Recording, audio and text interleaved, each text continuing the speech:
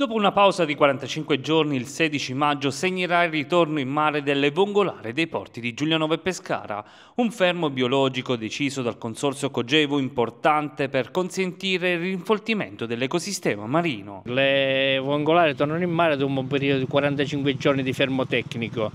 Noi abbiamo avuto la premura di uscire in mare con la ASL per il motopesca Valentino per i soliti monitoraggi a vedere la, la situazione del, del, prodotto e del mare. E abbiamo, il mare sta bene.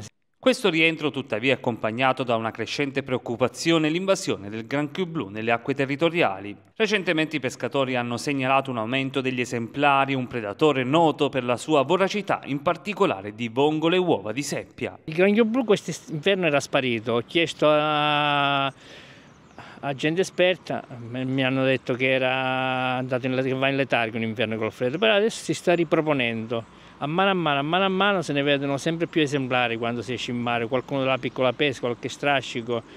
Eh, non si sa se vediamo l'evoluzione che perché su al nord c'è emergenza, eh, è stato fatto pure dal dal ministero un decreto apposta per aiutare chi versa in condizioni gravose su per la colpa di questo crostaceo. Vediamo cosa accade da noi, la preoccupazione logicamente c'è, vediamo in futuro se ci sarà proliferazione o no.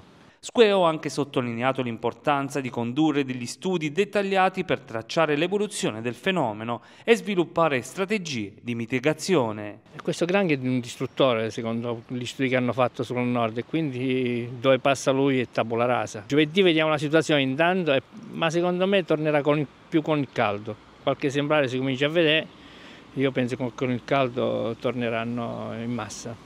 Ne ha portato uno qui per farcelo vedere, questo è piccolo rispetto anche ai granchi blu che sono stati pescati nel passato. Questo è stato catturato ieri, è piccolo, intanto comunque eh, ci sono, ecco il punto. L'altro giorno è stato preso uno grande, eh, stanno arrivando ma crescono subito, non è, che, non è che ci mettono tempo a crescere, arrivano subito a maturazione.